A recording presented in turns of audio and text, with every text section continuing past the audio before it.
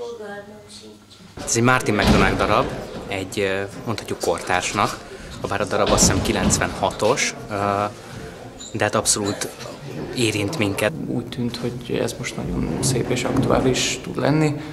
Annál, annál érdekesebb volt és nagyobb kihívás számomra, hogy egy olyan színházban játszani ezt, ahol, a, ahol a elsősorban vígjátékok mennek, és és nagyon-nagyon jól esett ez a bizalom, hogy a Tamásék, amikor akarnak egy kis komorabb vonalat, akkor én jutok eszükbe. Nagyon nehéz és nagyon-nagyon kényes helyzetekkel teli történet, amikor az ember a saját édesanyjával olyan dolgokat megtesz, amiket megtesz. Nem írt, Barítsam, azt akarod, hogy a fejedbe barítsam? Igen? Tehát egy blökkjem a fejét a csészé, ön csinál, csinál, persze, hogy csinált, húzza még a földön, de persze, húz rá csak.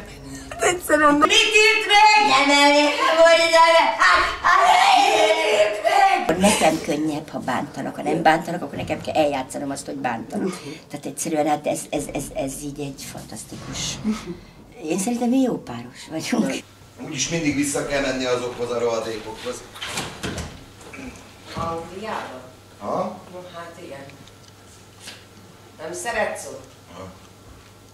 Pénz. Ezeket a mondatokat nem én írtam bele, hogy mindenki Londonba megy dolgozni. Ezt 90-es évek derekán írtam meg Dana Írországban, ahol ez teljesen más előjellel, de, de sajnos lassan olyan mértékben probléma nálunk is, a, az, ahogy emberek semmiféle perspektívát nem látnak abban a helyben, amiben élnek, és azokban a lehetőségekben, amik adottak számukra, vagy amit ki tudnak harcolni. Én is gondolkodtam már, mondjuk adódna valami tisztességes munka, vajon itt maradnék el innembe.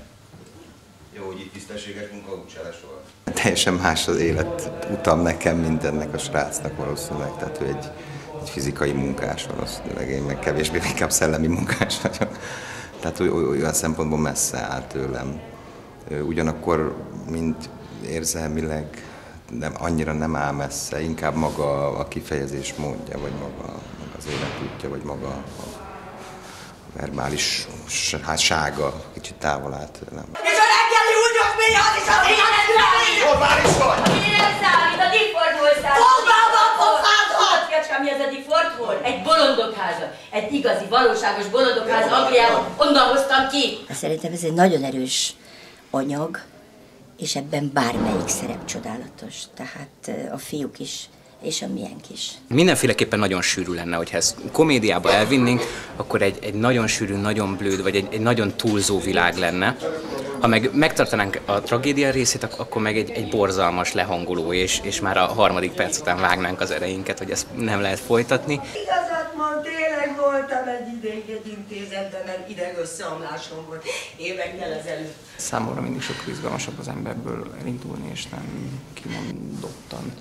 Tehát nem kívülről fogalmazni, hogy, hogy egy politikus előadást szeretnék csinálni. Szerintem ez nem az, de, de ahol emberek vannak, ott, ott társadalom is van, és ezeknek a problémáiról szerintem nagyon finoman és, és szépen beszél ez a darab, ezt igyekeztük megtámogatni. Hívott, hogy menj vele Amerikába, de hát hogyan mehet? Mi vele, mikor, mikor te gondozol? Jó nézni a Liát, jó belőle.